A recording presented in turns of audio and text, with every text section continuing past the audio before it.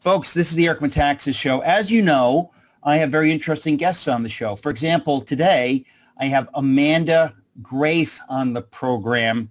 Amanda Grace, there's no way to describe you. So I'm going to try, but I just want my audience to know up front, we're friends. I yeah. like you. I got to meet you and your wonderful husband, Chris, in Bethel, Connecticut on mm-hmm. Mother's Day. It was so great to meet you. Welcome back. Thank you so much. I, I, I like you and your lovely wife too. And it was just wonderful to be able to come out and listen to you speak. You are hilarious, by the way. He gives one great sermon. Let me tell you. well, it was, I was to, it, I was, you know, I was in my, on my home turf in a way that I never am. I mean, this is like a mile from my parents' house. Yes. And uh, it was just, it was just fun to have you there. My friend Jay Etzel showed up. I mean, it was great. My mother and father were, were wondering, what, what is this? You know, they're kind of wondering, what, is, what kind of a church is this? It really was just a wonderful experience. It was his Vineyard Church in Bethel, Connecticut. Yes, it was. But I want to talk to you about so much. Let's, let's just start for people who don't know, let's let's go to the beginning. We've got to explain. There are people who don't understand what this is going on. What? Yes, that's the prayer shawl. yes. Who don't understand what the prophetic is, and I don't think we need to make it more complicated than it is. You uh, simply say that God speaks to you. You're not alone in this. There are many people mm-hmm. to whom the Lord has spoken in the past and speaks yes. uh, in the present. The problem with prophecy, a lot of people are very skeptical and they get very confused because there's so many different kinds of Christians out there. And there are many people for whom this is just utterly unknown. Uh, it's kind of spooky and strange. And so they just bat it away. What do you say to somebody who says, I think you're making it up. What do, what do you say? I mean, I don't know if you're even around people that are that skeptical anymore. Most people that you're with they already know you're not making this up. But what do you say to somebody who just doesn't understand at all what is happening? I would say to them that, you know, first of all, that they have to really get a good foundation on what prophecy is to understand it first of all because if you don't have a foundation and you're trying to understand something it would be like me trying to understand quantum physics without actually researching about quantum physics and what it is. Now, yes, prophecy is simply hearing from the Lord events and details that have not happened yet that will happen.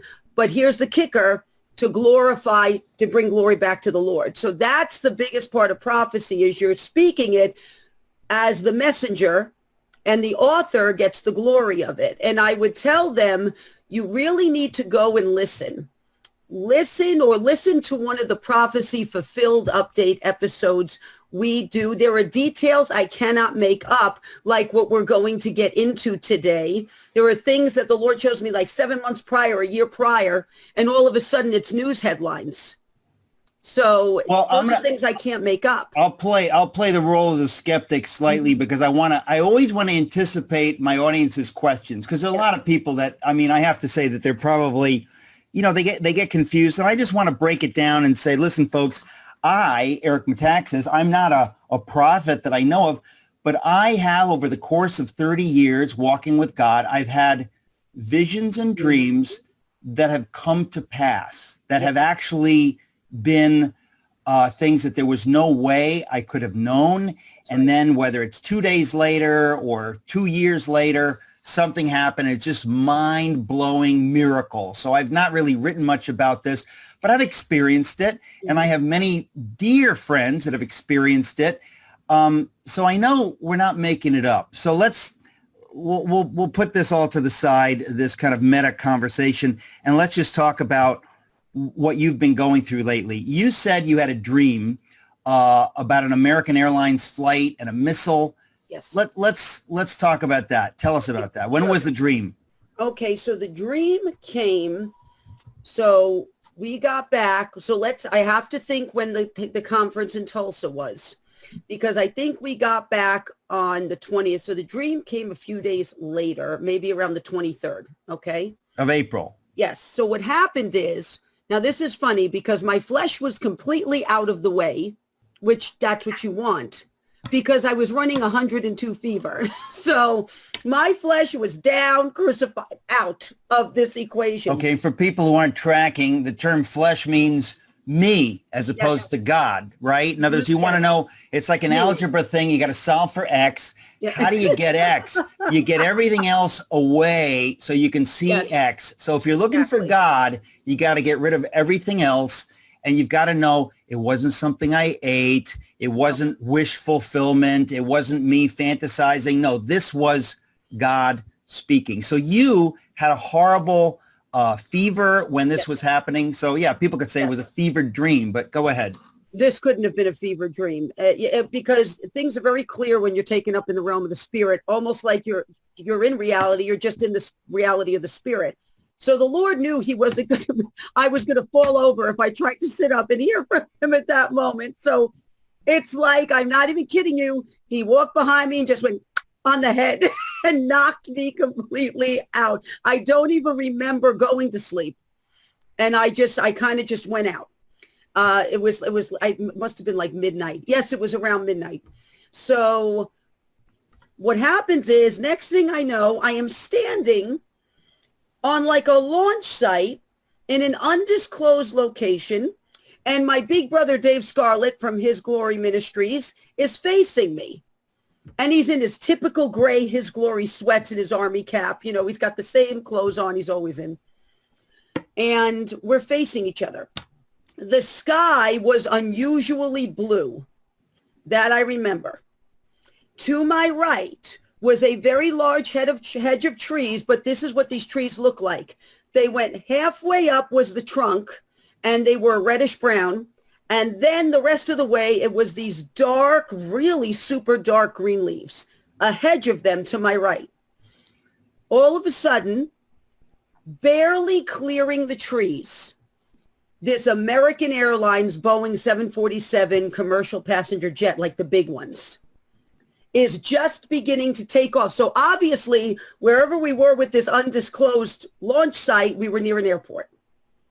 So this plane just begins to take off and I I see as clear as day. It's like the Lord gave me 2020 supervision because I could see everything clearly. It is American Airlines. It says American Airlines on it, same plane, same color, same everything. And as it's beginning its ascent, in front of me and Dave hovering appears this like 30 foot tall dark green missile.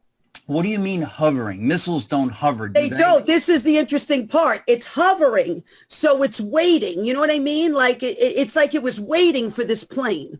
Because you're right, missiles take off like rockets. Because they, they are hover exactly. they're they're basically you know destructive rockets. You yeah. know. Um, so what happens is this missile has no distinct markings it it's it does it doesn't look like a U.S. missile. I'll tell you that much. It doesn't have the markings of any specific country on it. And when this plane is taking off, this missile begins to methodically move in a 90 degree angle right for this plane. And before I could see what happened, the Lord broke, basically brought me out of it and I shot up on the couch. So you were sick on the couch. Mm-hmm. You go out and you have this dream. And again, I want to say yeah. this because I, I, want people who aren't familiar with this. This was not a normal dream. This has no. a different quality uh, mm-hmm. for you. You don't have dreams like this all the time. I mean, you have normal dreams and then you have this is a prophetic dream. You could tell. How, how is it different for you? A, it's very clear. So in a prophetic dream from the Lord, you remember every little detail of that dream. The Lord ensures you remember every little detail of that dream. Very clear. You know, it's like you've got really good set of glasses on and everything is just very, like yours.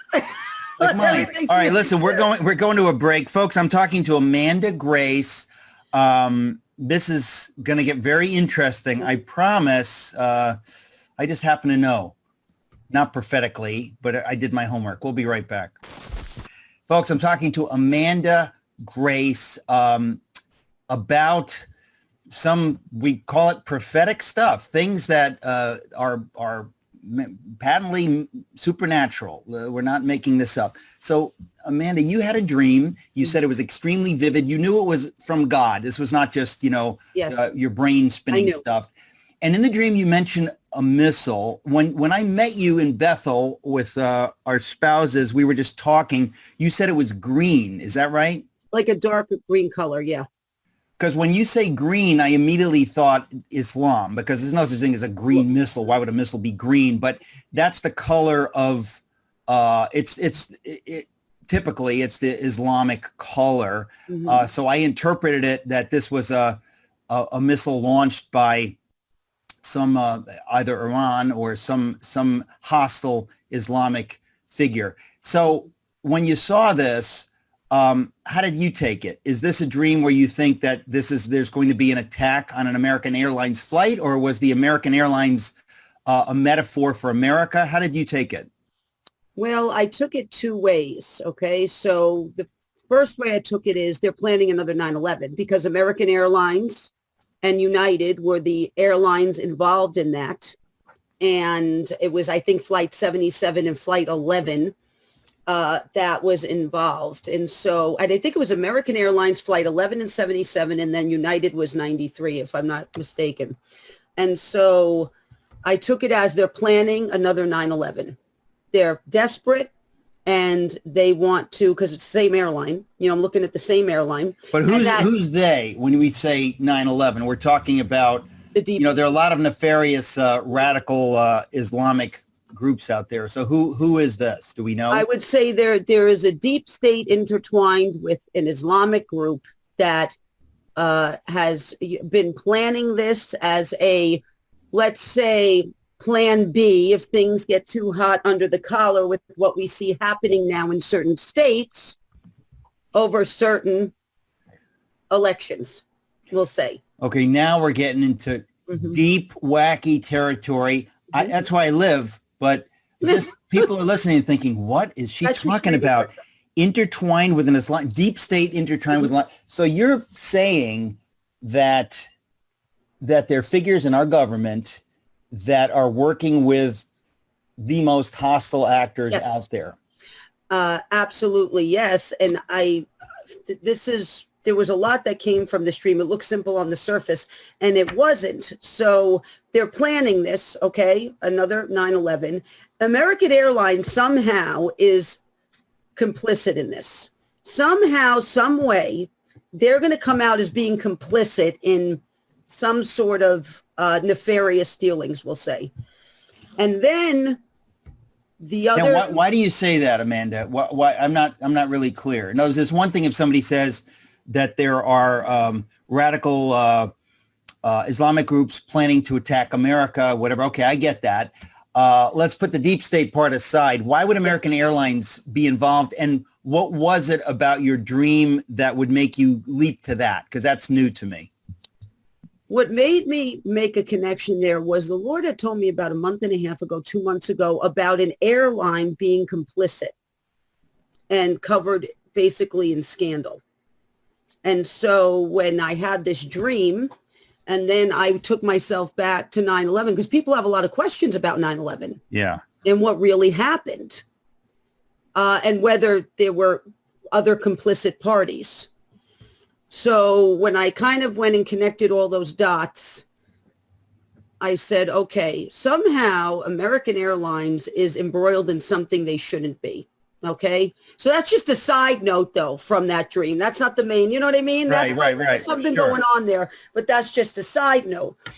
Um, from this dream also, I got two other things. A, there are truths about 9-11 that are going to come out. So that's going to happen. And then the other part was what you were talking about, okay, was that this is a representation of America. The people in America are rising up. There's a lot coming out in the open. The people are getting restless, okay? So if we take that plane as America and it's beginning to make its ascent, right? Because I call Arizona ground zero right now. That's what I call it because there's a lot of digging, we'll say, going on. So it, it's starting to make its ascent almost. You know what I mean? Like there's there's questions and there's things happening, and there appears that missile. So you're you're saying that you believe that uh, things are happening, meaning that we will get to the bottom of what happened in this election, and it's beginning to happen. There's and you're saying that the people who don't want that to happen are going to do something. They're outright panicked. They're outright panicked right now about this. And so this was, I think, was a, we'll call it a contingency plan to try to knock America back down just as it's beginning its climb. And the reason why the missile was so methodical because it's I think there's there's more than one aspect to this missile of what is being planned. So that's why we I didn't in the dream see, you know, it take off like a rocket. This is a very methodical timing. Timing. That's that's a word you want to remember. It's very methodical timing to this plot. And that's probably why we're seeing the missile move in that manner. So you're, I, I can't remember certain things.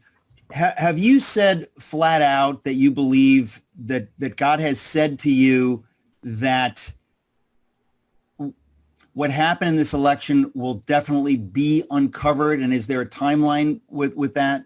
he he did say it would be exposed. Uh, there, you know, there would be more be exposed now than any other time. I mean, this is just an incredible amount of exposure that is happening. The Lord did say, I remember by this time next year. Now this was during Passover, so this was April. See, there goes Grace the dove. You see, she sings at the most amazing, incredible times. The dove is anointed, I'm telling you. So by this time next year, things were going to look very different is what he said. Now, I can tell you what he said leading into the election that had clues that this was going to happen. Last April, so April 2020, Yeah. I prophesied uh, from the Lord, like the Spirit of the Lord hit me and I just was off and running, which does happen. And he said, you are about to see a baffling set of events leading up to this election, and this election will be more baffling than the last. That was okay. So the Lord was warning. I and then in October, the October 6th word that I talked about partially last night, there was another part to that word, and he said, You are about to enter turbulence. I mean, when the Lord is telling you you're about to enter turbulence, you know what I mean? You're gonna have a you- you're gonna enter a pocket of bumpiness. And he said, you know, but I'm still driving, and he used a play on words. He said the plan. That's what he said. So the plane, I'm still driving the plan. And that this was a pocket of turbulence America was entering. Now you come out of pockets. Pockets of turbulence, you know what I mean? Can Yeah. last on a plane, you know what I mean? 10 Well, that's- minutes, five that's minutes. good. That's good. Yeah. No, that's very interesting that you're you're you're following the logic. That's right. In other words, if you're entering a pocket of turbulence, it's not you're not going into the into the drink. You're not being destroyed. You're just going through turbulence, and you'll come out of it. But But it- you'll feel the shaking. Right. Well, And we you know. did. I mean, let's face it, that the period from from the election until today has been tremendous turbulence. I cannot, I mean, I cannot. I know that nothing like this has happened in the United States in our lifetimes for sure. This Yeah. is the most strange thing. Mhm. Uh, to, to have a president whom scores of millions of Americans don't believe he was actually elected president. Whether he was or wasn't, I don't believe he was. But the point is, even if he was, the fact that you have scores of millions of Americans that doubt it, Yeah, that is totally unprecedented. it is. Uh, we are living in a very, very strange time. There's no doubt about it. But you see hope. Yes, I do see hope because this is a covenant nation. You know, the Lord raised the United States up to be a covenant nation and a, a brother and defender of Israel, which right now the leaders that are not coming to Israel's defense, if you want to, and I'm going to say it in a very Italian way right now, there is no quicker way to piss off God than to back off when Israel is being attacked and say we're not going to come to their defense and do it purposely because you're trying to accomplish something nefarious over there. So you're saying that the Biden administration, quote unquote, is not backing Israel because they're trying to work behind the scenes with Iran. Mm-hmm. Exactly. And I will bless those who bless you and curse those who curse you, the Lord says. This is not up for negotiations. This is not something that the Lord will negotiate on. And many leaders have made this mistake.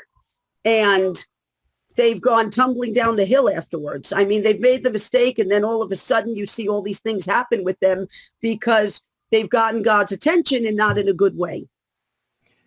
This is, uh, folks, I told you it would get wacky, but sometimes reality is wacky. So that's the question. Is it reality or just wacky? I think it's reality. But uh, mm-hmm. listen, we'll be asking more questions. Amanda Grace will be right back with mm-hmm. you. Don't go away. Folks, I'm talking to Amanda Grace. If you're not interested in this conversation, you're not paying attention. This is amazing stuff, Amanda. I think you're right on everything you say. The question is always about interpretation, right? Like God says things you could get a, a picture, you can get an image, you get a word, something. And then the question is, do you interpret it correctly uh, or do you go off? Sometimes people go off. I've had that happen to me where somebody in the prophetic will say something and it's flat out wrong. They didn't need to say the timing, but they said it and then you just say that was wrong. How is it possible? I mean, you've been doing this for a long time. How do you not get in your own way? Because, you know, you think thoughts, but you don't want your thoughts to mess with what God is saying. Yes, and that takes a lot of time of God training you. I mean, I kind of got my butt kicked for 20 years before I, the Lord raised me up into this because he trains you during that time and he's doing it to prepare you. He's not doing it because, you know, he hates you. And so over time, the Lord has trained me to A, get my brain out of the way. So especially when the anointing of God just completely hits me, my brain shuts down. It's like he puts a, uh, what do you call it, um, gone out to lunch sign, and he turns it on my brain, and my brain is now out of it. I've also learned when I hear it, write it down and ask questions later. Do not get in your own way at the moment. Just write it down the way you hear it because there's a reason the Lord is saying it that way. And then later on, I'll either go into prayer or he'll tell me to go look something up uh, you know, to give me a little more clarity on what he has said. So that's that's a thing you learn. That's a discipline you learn over time. You get a lot of uh, what I find fascinating, and to me, again, it's like it's always solving for X because you want to know: is this it real? Is. is. this true? Mm-hmm. And when you hear somebody uh, say something, and then uh, they don't even know what it was, right? In other words, you get a word like the word schism. You weren't really familiar with the word schism. No, In I fact, initially you were pronouncing it incorrectly Ism, because yep. it was so God gave you the word yep. and then you kind of you you look it up that to me is one way that we could know it's not me right it's a foreign entry into my brain because I'm not familiar with that you you'll get uh you'll get different words and strange things you mentioned um this gets really crazy but you were talking about uh the the Kentucky Derby winner. I don't know if we should go there yet. Uh, where do you you want to get you want to get into? Up, however you want to go. I mean, we could work up to it. We could go clash to the Titans first and then go there because it's all connected. Well, okay. So let's let's say you got a word from God over a year ago uh, saying that there's going to be a clash of the Titans. Now that's a kind of common phrase because Fox News mentioned it. It doesn't make me go aha, but at the same time, it's interesting enough that Clash of the Titans in both parties. What, what did you what did you mean by that? When did you get that word okay. from God, and I'm when did you explain that to my okay, audience? Okay, so this was October 6, 2020. So this is over seven months ago. And this, I'm going to read to you exactly what the Lord said. Okay. Because this was very specific, and this is what the headlines are showing. So he said, there shall be a clash of the Titans in Washington, D.C., the likes of which has never been seen. Historic, says the Lord of hosts, this day. However, in clashes, there shall come forth casualties, and there shall be those exposed in both parties who have been liaisons for wicked interests of foreign entities, says the Lord of hosts, this day, both parties, capital. And then he says, a core shall arise and come forth, a core that fights and stands for truth. My capital word of truth, says the Lord, and my truth shall go forth in the midst and expose a chain gang of players all working together to overthrow not only the foundation of the United States of America, but capital's all sense of morality and faith in God. So that's the way. Now, I'll tell you, a Bronx Italian doesn't talk like that. You see what I'm saying? Like God doesn't sound like a Bronx Italian. I don't sound like God. He's got a very different sentence structure than I do, and you can hear it. Yeah. Well, that's what's so interesting is that there are people who, when you hear them prophesy, it sounds like them. Yes. Uh, other times you hear it. I mean, for me, anytime I have heard from God or whatever. It's very important to me to know it wasn't me because God forbid that we should ever say God said something and he didn't say it. I think we have to really, you know, if God is holy, we have to take that very seriously. And so I appreciate people's skepticism. I think people can go too far and just be skeptical of the whole concept, but we have to be really clear. Did God really say that? Because if he did, it's a big deal. We don't want to put words in God's mouth. That's blasphemy. But you, um, you got this word in October of last year. Yes. Um, talking about, it sounds like uh, corruption in both parties. Uh, Mhm. Talk about that a little bit. Yes. So the Lord was saying that both parties were people from both parties were going to be exposed to this. And the key word is liaisons for wicked interests of foreign entities. So it was going to come out. He was showing right there that there was foreign um, infiltration, we'll say, with the election from more than one country. Okay. Well, and now no, some- this is not like Russia, Russia, Russia. No, Yeah. this is like a real, you know, coup. So uh, Mike Lindell has come out with all of this stuff, but the mainstream media and a lot of the conservative media, most of it is still assiduously ignoring all of it. They don't talk about it. Do you think that this will ever break uh, into the mainstream on, on any level? I think the mainstream media is going to see a crisis, the likes of which they have never seen, uh, because of their uh, going like Rome is burning behind us, nothing to see here. Nope, nothing's burning to the ground. That's what they're doing right now. And my shock was not only Fox News carried the headline a few days ago, Clash of the Titans with Washington, so did CNN. So more than one news outlet now Okay. Okay, we're going to go to a break, folks. Don't go away. Why would you? Uh, Amanda, this is, I know many people listening just think, what are they talking about? But I want to say to my audience, if you didn't see my first interview with Amanda Grace, go on YouTube. It's really important, I think, for you to understand who I'm talking to so that people understand, Amanda, who you are, because they need your background to understand you're a Mhm. sober-minded individual. Yes. You've suffered. You've gone through all kinds of stuff. Mm-hmm. Uh, Chris, your husband has suffered. It's Mhm. important for people to get the pedigree of the prophet, I think, so that they understand who is this person. This is just, you know, somebody sounding off. No. Um, you uh, you talked about a bunch of things in your last video that was just posted yesterday. I just stumbled on it. And um, you talked about threats against Ted Cruz's Mhm. life. What Yeah. did you hear? Like, are you praying and you see a picture of Ted Cruz? What was it that made you say that? So what happened was the Lord took me to the back of our property by the stream, quiet waters, Psalm 23, familiar. So he takes me to get me away from everything. Uh, and he does that many times. He has to tell me some heavy things and he wants me to focus. So I'm down there and, and that's what I hear that they, that they're going to try to harm Ted Cruz. Like who's there? They, life who's that? the you know we'll, we'll say the opposition uh, those that uh, see him um, as uh, standing in the way speaking too much truth you know what i mean opposing so that they're going to try to harm him Very interesting. Yes. Uh, you, are And you saying they won't, they won't succeed or we don't, you don't know? well the way the lord wrote it he said they're going to try and normally that means it's not going to succeed but there's going to be an attempt Well, we should pray for Ted Cruz. yes There are Yes. only a handful of people in our government who are speaking the truth right now. Just a tiny handful. Uh, you've got uh, Tom Cotton, Jim Jordan, Ted Cruz, just a handful uh, God of, bless of uh. Rand Paul, just a few people that are really being bold and clear.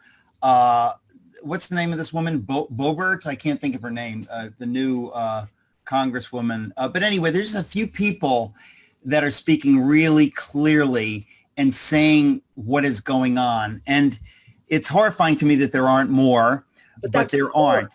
Ted That's Cruz, the core the Lord spoke of in the October 6th word. He said, and a core shall arise. A core is the smallest part right, of the apple. right. So yeah, Yeah, there's just a few. There's just a few that are speaking bravely. So we need to pray for Ted Cruz. Um, you spoke about uh, the uh, the Kentucky Derby. Hmm? Talk a little bit about that. Okay, you want me to tell the antidote about how? I Anecdote. You Yes. said antidote. See, that's how you know.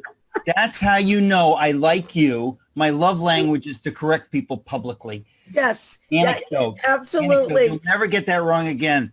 And I have a big vocabulary too, and it's like you know I know you sometimes it's do. just I, I you lose the the consonant in the middle of it. That's all right. Anecdote. I'm here to help. Anecdote. Thank you. Thank you. Anecdote. Anecdote. No, that's that's classic. That is so funny. Okay, Oh. so tell me if you don't mind that story. Tell my audience that story because this is honestly this is crazy. It's important. I want them to hear it from you. So go ahead. Okay, so I'm going to tell the anecdote quickly why I picked up on this.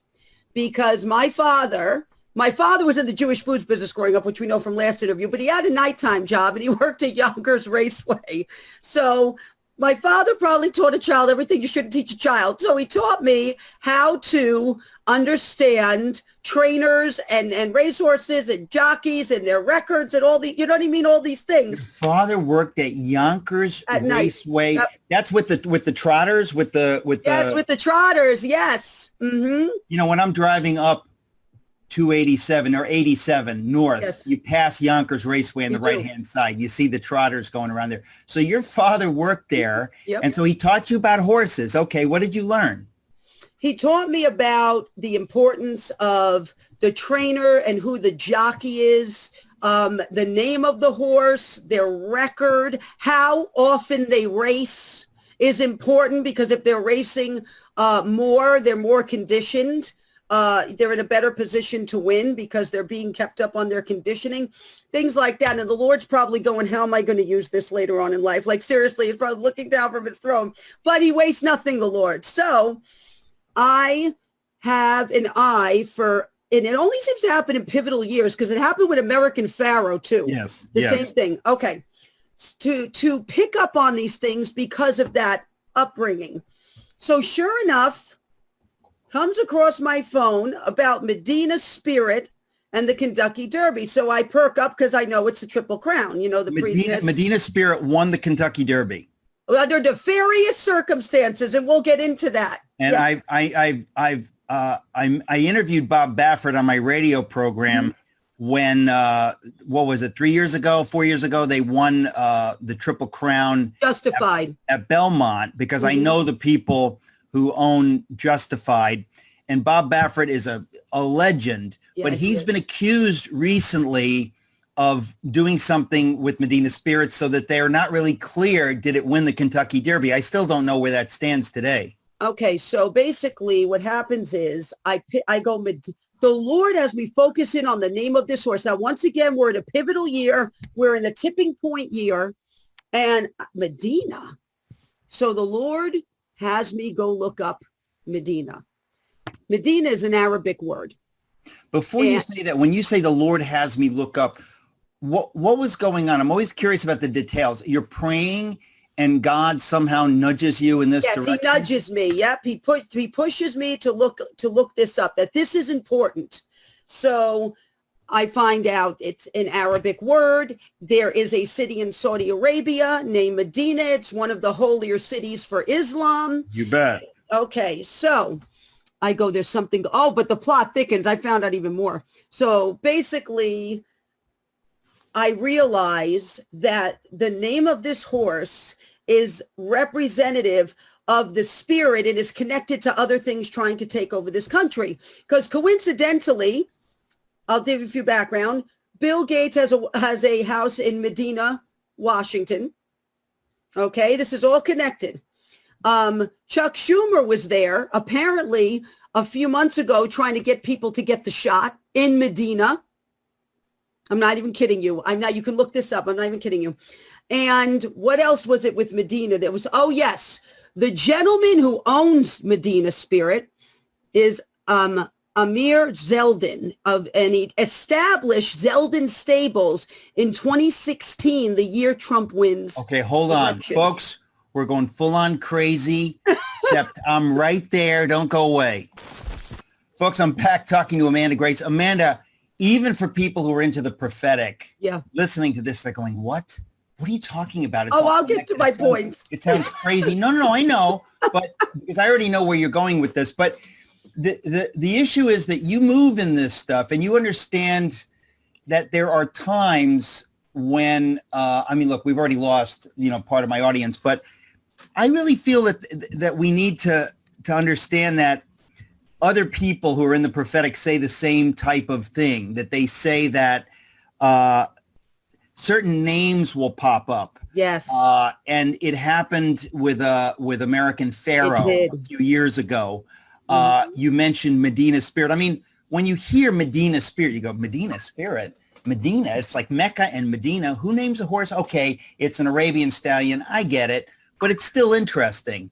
Um, and you're saying that there is something deeper, that there's a parallel with the controversy around the horse there's a parallel and we'll and we'll get into that but this gentleman he established a stable the year trump was elected he's married to a princess of jordan who is embroiled in this israeli israeli conflict right now so you know we're connecting the dots here so on the 10th is the first time i mentioned medina spirit okay the 10th of uh, may was the first time i talked about this horse last night was the second time now, the next day, I'm not even kidding you. We started getting videos, breaking news, May 11th and 12th. The city of Medina, Saudi Arabia, the skies are filled with thousands upon thousands of locusts. You're not making this up. I looked no, it up no. and I couldn't believe it myself. I mean, anytime you get a plague of locusts, that's going to be news. But when it happens specifically in Medina, mm-hmm. you're saying that God nudges you about the name Medina and the horse before yes. you get the news of the, the locusts uh, on Medina. So I did the first broadcast before the new, but it was the 10th. Some people, this just sounds like crazy conspiracy stuff, yeah. but I don't care. So keep going.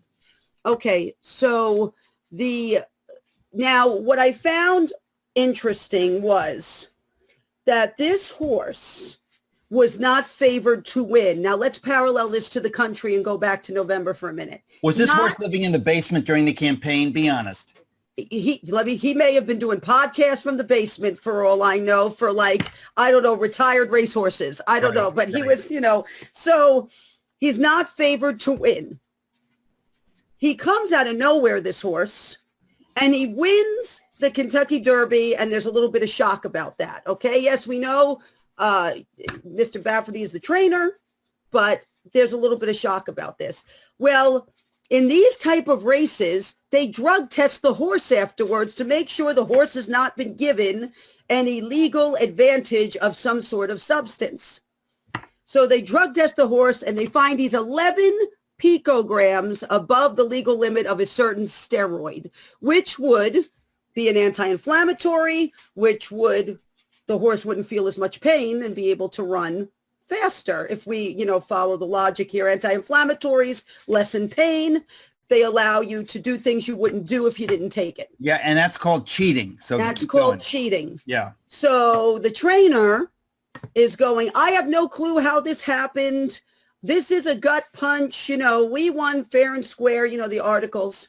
Well, what did they do? They'd say we have to launch an investigation.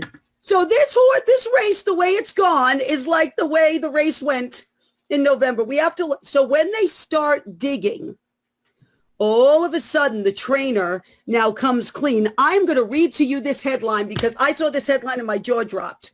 Riding for a fall. This is the headline about the horse. Riding for a fall, Medina Spirit trainer Bob Baffert admits to using ointment with steroid after Kentucky, Kentucky Derby horse test positive. So basically, they said they were treating him for, I don't know, psoriasis or some sort of rash, and they used an ointment that had, I guess, a high concentration of steroid in it, and it got into his bloodstream, and he comes clean only after the investigation starts. And they start digging. So what happens in the Preakness now? Because this goes in suit. Medina Spirit um, is racing in the Preakness. They think he's going to win. And some, something I do know about jockeys is many of them will hold the horse back and hold the horse back and conserve the horse's energy. And at the last turn, they let the horse go into a full canter and just take off as fast as it can. So this horse Rombauer, this jockey did this, and he's holding this horse back. And in the last turn, this horse Rombauer comes out of nowhere and literally snatches it away from this horse. Snatches it away. Wait, so Medina Spirit won? No, No. No. Uh, he at the last moment, Rombauer surpassed him. Got it. Okay, so it looked like Medina Spirit was gonna Okay. potentially take it, and Got then it. this horse comes out of probably from the outside because they like to do that out of nowhere and takes it. Okay. and snatches it away from him. But now they still have the investigation that's ongoing. And I'm thinking if this is not parallel to what happened in November and since, I don't know what is. Now explain that because I'm not sure that that's as clear as as you're saying. The, the parallel is that it looks like, in other words, are you are you you're suggesting that Biden will not prevail? That's what it looks like from what I'm seeing because the horse was not favored to win the Kentucky Derby. Okay. Right. Who else do we know wasn't favored at that moment to win? Okay. For a nefarious means and cheating, this horse wins. And they go, something's not right. Right. We have to launch an investigation. This is going in the same sequence as what happened with the election. So you you believe because of this and other things that Biden will not complete his term in office. I believe as well that Biden is holding hands. Uh, the reason why Medina spirit's so important is involved with where that spirit comes from. He's involved with those countries uh, to try to destroy, in a way, this country and Israel. So he's involved with what we see trying to take over. I have never seen Medina so much in my life. Medina with Bill Gates, Medina Spirit the Horse. Chuck Schumer was in Medina, Washington, you know, giving his spiel on, on the shot and why everybody should have it. That should scare you enough people and make you run the other way. Um, you know, so what, and I'm calling it the shot for a reason. I'm not using the V word. The jab. Mhm, the jab. And so this, and then in the process, Medina gets covered in locusts, which was one of the plagues of Egypt. Completely just swarmed in the middle of this horse scandal, in the middle of the investigation in Arizona, in the middle of all of the Gates divorce, Medina is covered in locusts. This is how things work in the realm of the spirit, and they are connected. They you are people could go crazy though because everything's connected except you're talking about what God is telling you. This is not Yes. just coincidences and craziness. You said that when you were praying, God gave you a picture of Chuck Schumer. Can you talk about that? Yes, his face like like appeared so strongly before me in the forefront of my mind. And let's see here. Oh, I'll bring it up on the other document so I get it right because I have both of them up. And so during these hearings, this is what this has to do with. Something's going to happen with this man in the middle of these hearings. And this is what I had written down from the Lord. Watch amidst the election reform hearings what comes of him, for the clock has struck 12 for many, and now I, the Lord thy God, shall judge the governmental leaders, players, puppets, and jesters. 12 is the number of government and rule, biblically speaking. So when he says the clock has struck 12, it is time for leadership to be judged. That's we're gonna we're gonna go to we're at the end of this break, folks. Uh, we're talking to Amanda Grace. You can find her online, YouTube channel Amanda Grace Blogspot. Uh, we're continuing the conversation when we come back. Don't go away. Why would you? Folks, we're talking about horse racing. I don't know why. Uh, Amanda Grace uh, is my guest. Chris, her husband, is Yes. standing by. Hmm? Uh, I guess he's spotting you in case you go down, right? Exactly. You know, he's making his cameo. Oh my gosh, Wally is coming over. Chris will grab Wally in a minute. The African gray parrot is literally trying to come over into the interview.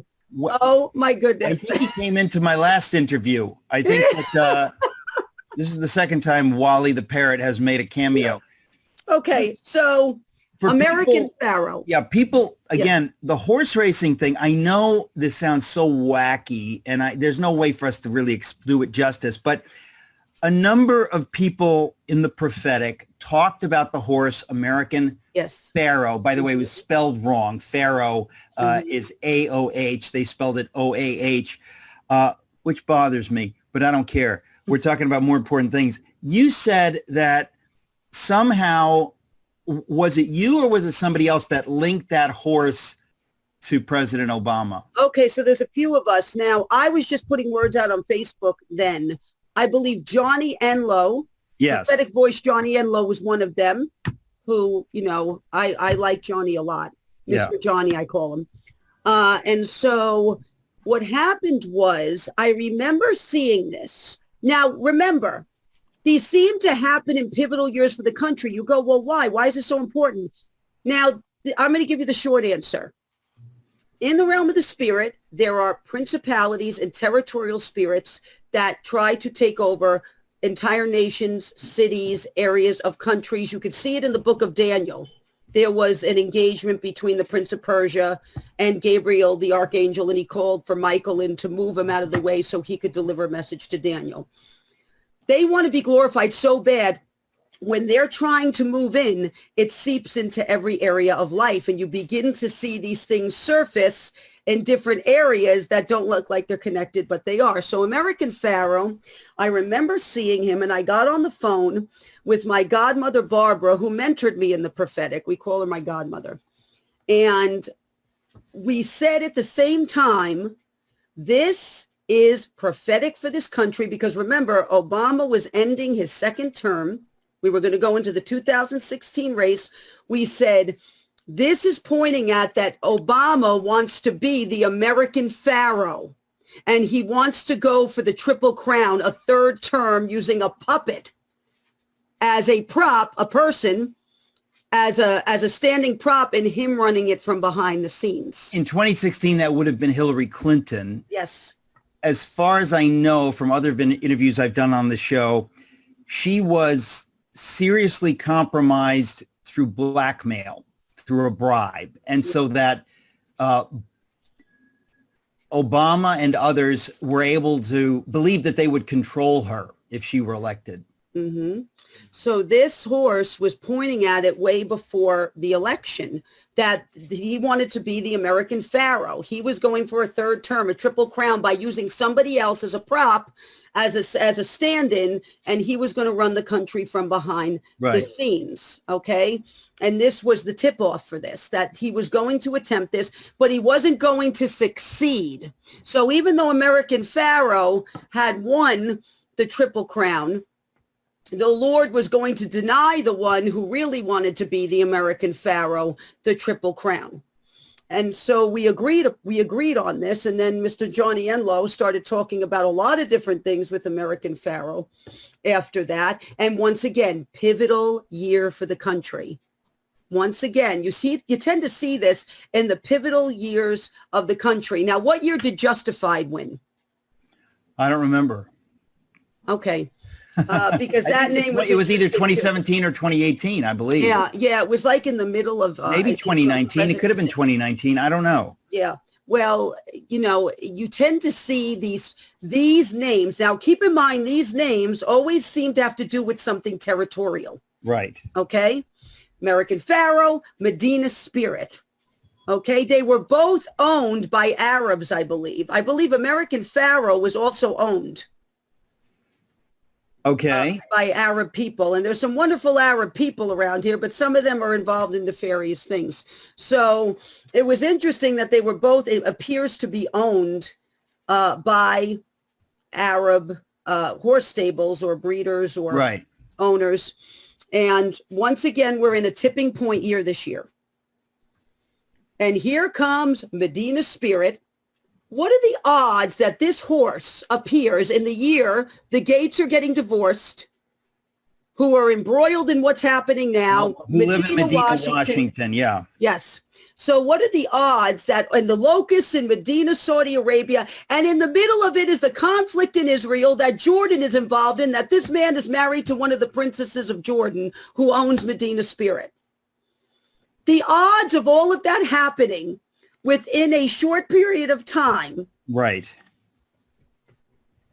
It, it is it is so crazy. And so where do we think this is where do you think this is going? This is like you know, the Lord, and I'm going to say this now because this is the same thing is happening now. For months leading up to the election, the Lord had me talking like a broken record. And I'd say the hallmark of a brilliant chess player is their ability to bait their opponent into making a move that they think is going to profit them. But when they make that move, it's a trap and it's checkmate. Right and that the Lord was baiting the enemy right now. But to bait the enemy, you have to set a trap and you have to make it look one way when it's not that way, it's another way. Uh, and that's what's happening right now because we have seen more be exposed and come out in the open about leadership who's entangled with other countries they shouldn't be, leadership in both parties who's doing it, software companies, voting machine companies. We have seen so much come out in the open uh, since November. It is the, it's like it's like a tsunami. It's like a tsunami of truth has hit the United States of America. Is this uh, Albin? Is this the eight? I think we've only got thirty seconds left in this one. I can't even remember. Maybe Albin will tell us. Uh, no, sorry. So it's the eleven. Oh, it's the eleven. Okay, good, good, good um, because I just want to follow up on this. So what you were saying uh, is that you believe that there you believe that these things are going to be exposed because again we don't have we can't get into every detail here and you talk about this if people follow you on youtube but you really do believe that um, that things are going to be exposed as we move ahead yes it's the the image the lord gave me was you know when you see an iceberg you see the tip of it sticking out of the water. And it's deceiving because it looks like that's all there is to it. But what you don't see is the deepest, widest, darkest parts of it that go into the depths of the ocean. And what the Lord is doing, and I have found out that there is a phenomenon when the bottoms of the icebergs get too big and heavy, they flip over. And everything that was hidden now comes to the surface. It's getting really big and heavy for those who are involved in this. You know what I mean? This is quite a house of cards. This is quite an iceberg that they have built and their Titanic has reached impact. I, I really do wonder when this is all going to happen. I know that many people are getting impatient. It looks like the country's falling apart at light speed. It's being taken apart uh, and that this administration is taking us into socialism. It's just a kind of a madness. I mean, it makes the days of Jimmy Carter look like the days of Reagan. I've never yeah. seen such such uh, such speed. And I think a lot of Americans, even if they weren't pro-Trump, they realize that this isn't good. Whatever is happening, whether it's gas lines, oh, yeah. pipeline being hacked, uh, a war in Israel. I mean, it really seems like something out of an end times novel. You can't believe that this is happening and and they specifically chose this time to hit Israel. They specifically chose this time because there's something trying to be revived right now, which was known as the Iran deal. So how convenient to go after Israel in the middle of it all now. That's not a coincidence that this is happening. In you other know, words, they, they know that the Biden administration is is is not doesn't want to mess up the Iran deal so that they're going to be hands off on Israel. Which is a huge mistake in the eye because you have a bigger um, now power to contend with known as the Lion of Judah, who is the defender of Israel, who is going to respond. Now, I remember he talked about he was going to shake these nations that came after Israel like they've never been shaken. So that's coming. That's so That's fascinating. Mm-hmm. It is so fascinating. And I know one of the reasons that uh, I'm so interested in your prophetic ministry, Amanda, is because you you follow up. In other words, you don't just throw stuff out there and if it doesn't happen, you don't say anything. You're trying to get it right. You're responsible. And that's so important because so many people in the prophetic, they just kind of say stuff and then they move on. And if it didn't get, you know, you, you, you want to say, wait a minute, what about what you said? This is too important, you know. Uh, we're going to go to break. Folks, we're going to be right back. I'm talking to Amanda Grace. Don't forget to go to my website, ericmetaxas.com. Sign up for the newsletter, please. It's important. Yes, it Thank you. Folks, I'm talking to Amanda Grace. Mhm. Amanda, this is uh, you. You got a word. What is the word about the bug? Uh, t- tell us the word. So God, get, and again, for people who are trying to track here, God speaks to you. You write down the word that God gives you, and then you go back later to say, what does this mean? So, what was this word, and when did you get it? And this is a perfect lesson in we can't apply our finite minds to what God is saying sometimes because he means it totally different than we think. And so uh, this is going to be a, a lesson in itself. So on the 8th of April, the, I'm, I'm taking an excerpt from that word, 2021. The excerpt was, a worm is about to be pulled from its dark hole, which I think we're waiting for, and a bug shall be caught by the Pentagon. Okay. Now, on the about a month and a half later, on the 14th of May, 2021, here was the headline we were sent. Breaking exclusive uncovered a direct link between the Chinese military and a major Pentagon funded virus research center. What is the other what is the other name for a virus? A bug. So this is a perfect lesson in how we may think it means you know, so like a bug, like they've bugged their bugged their office to listen in on them. But this really may have to do with this virus research center because it's also known to us as a bug. And basically what happened was there are two um, individuals here, Tian Wang and Lin Sung, who were trained in the People's Republic of China that are leaders of something called the UTMB training program, supported by Fauci's NIAID, which is another program. And they said that the Lin Sung is a member of the Pentagon-funded UTMB Center for Biodefense and Emerging Infectious Disease. So they have caught now a link now that people who were trained in China are now working in this biodefense and infectious disease center in the Pentagon. And they have now cover, uncovered a direct link between this. This you realize most Americans, I think this is so dark, so nefarious, Yeah. so horrifying. You really don't want to believe it. You don't want to believe that your government could be so far away from honesty, transparency, clarity, fidelity to the American founders, fidelity to the American people. It's so dark and horrifying that we do need a reckoning. I mean, it seems to me that it's just it, it's it's just so hideous. The only good news is God wants to drain the swamp. So you really do believe, based on what God has said to you in the past, that the swamp will be drained, that these things will come to light. I don't remember the specific words that you've gotten, but what what makes you think that there will be some good coming out of this? Well, because first of all, in, in, a, in a couple recent words I've delivered from the Lord, the Lord uh, talked about uh, prophesy to these bones of the United States. He talked about the eagle um, being wounded, but he was he was healing those wounds. To it was going to soar again. I'll tell you, there's another one from March 27th. I have right here that's also encouraging because th- this for March 27th is happening now. Okay, so two months ago almost. And this is what it says. A roar out of Israel, says the Lord, confusion with the election that shall expose a web that circles through the Palestinians, that circles through the Turks and back, says the Lord of hosts. And one I have anointed shall arise in the midst, and he shall be marked. He's talking about Israel here, but then he goes into us says the Lord of hosts. An unusual event in Israel shall be a prophetic sign of what is set to occur in the nation of the eagle, says the Lord of hosts. For the eagle is about to spread its wings and catch an updraft.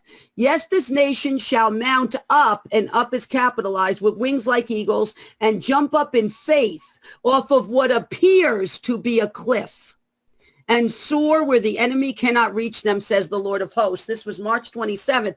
Now the events have already started, so it confirms the word because the first part about Israel has already started because it's happening now over there.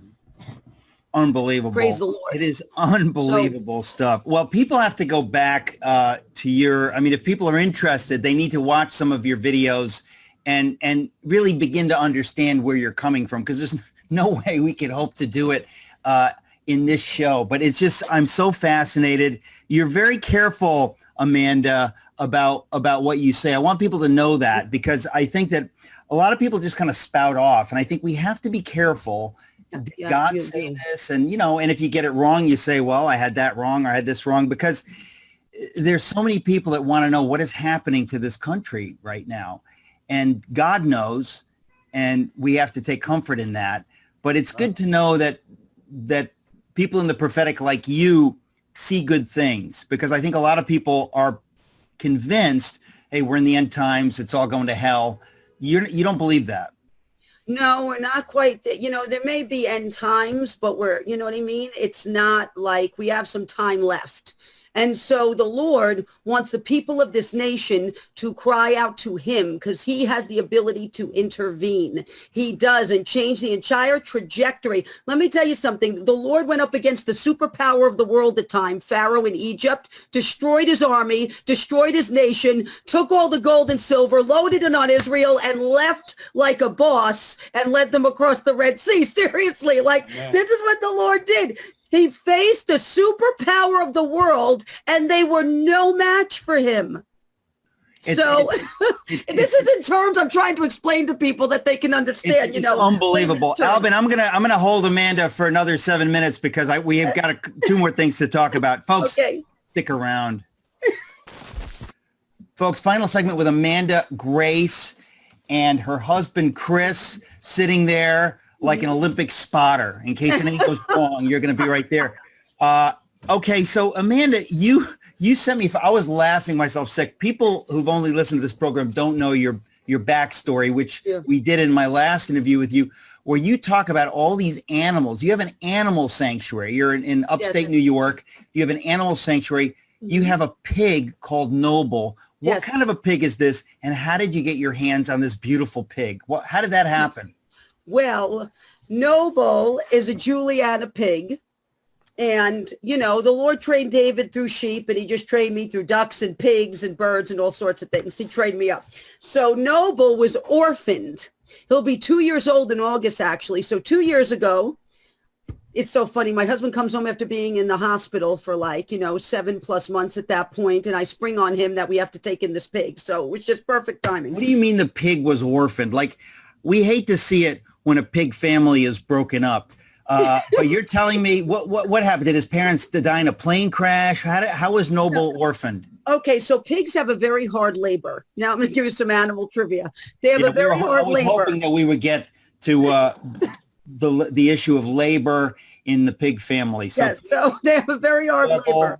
in giving birth, right? Yes. And so what happened was his siblings died at birth, everyone except him, and the mother died days after birth, and he was orphaned on this farm. So, And the um, father, typical, nowhere to be found, right? so? Unbelievable. These deadbeat dads. We don't know where the father probably running around with some other floozy pig across the farm. Unbelievable. Okay, so So- where did you? This is an exotic pig. Where did you find this beautiful pig? This, we had had to go up to? Chatham, New York, and it was kind of funny because when I first presented to, because this wonderful woman took him in and bottle fed him, and now she needed to find a sanctuary to place him. And the first, when I present this to him, the first thing he says is no, no, because that's the first a word Chris learned in rehab, by the way, was no, which is good for any marriage. You know that your husband knows the word no. So basically, we go up to Chatham. I go, come on, Chris, let's just go look, maybe the Lord wants us to take in this pig. Well, God is so brilliant because he was like this big at the time. We get there, the pig runs right to Chris. The piglet runs right to Chris and he got on the ground and he went, okay. it was over. And we took Noble home with us. And so, so, Noble, how big is Noble now? How big is the pig? uh. Noble's probably about a buck 60 now, at least. Are you serious? He's got a low center of gravity though, so he's not tall. He's just, you know what I mean? But a some girth. 160 pound pig, they start out looking cute. Now it's a different kind of cute. And and Noble is the mayor of Ark of Grace, so he walks around every day, does his duty, visits the animals, visits any new intakes we have. I had to do a rooster rescue last week and take in two roosters and rehome them. So that was last week was rooster rehab and rescue. So you got a full blown animal sanctuary. Now, Yes. Noble, the reason I, I remember this is that you sent me a photograph of Noble the pig sleeping on a Mike Lindell My Pillow pet pillow. Yes. I said, I got to put that on the internet so people understand. Folks, if you have a pig, you're looking for some kind of a cushion, you go to mypillow.com, use the code Eric, and you'll get a beautiful, my, my, our little Georgie, our eight pound doggy, uh, sleeps on a Mike Lindell pet pillow. Even if your, if your pet is 160 pounds, Mike Lindell has a pet pillow for you. That's the main thing. I say if people could just remember one thing from all the conversations we've had, just remember when you go to my pillow, use the code Eric. That's the only thing that I care about. But seriously, you have you have all these animals. So you've got a pig. What else do you have there? Because I mean, I hear these animals in the background. Let me tell you, God's got some sense of humor because every time Chris says no, another one shows up. I go, stop saying no, because the Lord's going to keep sending them. So we have an African gray parrot, a 39-year-old African gray parrot named Wally, who just came last month here to that was flown in from Minnesota. Oh, right. Oh, Chris. Well, if you can get him out, Chris, go be my guest. Chris could try to get Wally out. And then we have in back of us Chet the cockatiel and Grace the dove. We also have a peacock named Salvador. We have whoa, whoa, whoa. whoa. Yeah. A peacock, a peacock named Salvador. Salvador, He's 18 years old. And so peacocks live a long time. 18 year old peacock. That's the best eating size. Yeah, I'm like, Oh, stop it. Stop. I'm just joking. I can't believe it. You have an 18 year old peacock. I'm actually amazed they live that long. That's amazing. they can live up to 50 years in captivity. So they can actually, and they kill snakes and they go after all sorts of like, they're very territorial. So they'll defend your animals. We have Muscovy ducks too. If you've never seen a Muscovy duck, they're enormous. Go look them up. Um, so we have them also. And the Lord is just now we're making plans. We may potentially in September be taking in a baby male lamb that needs to You know, I hate to break it to you, but they grow up to be sheep. Did you know that? I know that, but Yeah. Noble's getting a new house outside, and this lamb could be his roommate if this is what the Lord opens the door for. So uh, I, we're making plans. oh, Oh, here he comes. Wait. He's got, Chris has got Wally. All right, Chris, come here. He's got Wally. This is Wally loves Chris, by the way. The Wally loves me too, but he really loves Chris. this is the parrot. Where is he? Where? Oh, our There he is. There's Wally. And Wally can not only talk, he knows how to sound like a FedEx truck backing up in the office. You're not joking. I'm not joking. It, it, he does it during Grace and Glory. Dave almost falls off his chair because the bird sounds just like a FedEx truck backing Look up. at his tail. He's got a beautiful red tail. Yes. Beautiful. They live over 60 years in captivity. And so Okay. he's dancing because he's all excited that Chris took him out. So he's doing his little dance right now. I've never had a parrot on the show, and can I tell you, that was intentional. Okay, until today, until today, God has softened my heart. Uh, look at that beautiful red tail. This is why I tell people to go to my website, ericmetaxas.com, and sign up for my newsletter so you can see these videos. Because Yeah. honestly, on radio, you can't see a parrot. I don't care what kind of a radio you have. You're not going to be able to see the parrot unless you watch this on video. This is just, we're, we're basically at a time, Amanda and Chris, this uh, is so entertaining to me. We're talking about everything and then we bring it home to these beautiful animals that you have. Suzanne and I want to come and visit and actually. Oh, please do. I'm dying to see this pig. Noble. We're going to have to film you running around with Noble. Oh, don't for worry. everybody. Don't Yes. worry. I'll, I'll film it. Well, I'll, I'm going to say goodbye. Folks, what is your website, Emma Amanda? What is your website? Okay, our website is www.arc with a K of grace hyphen ministries.com and we're Ark of Grace Ministries on YouTube Okay. as well. All right, people So- can find you. Yes. Chris, Amanda, and the beautiful parrot. God bless you. Thanks God for bless being you. my guest.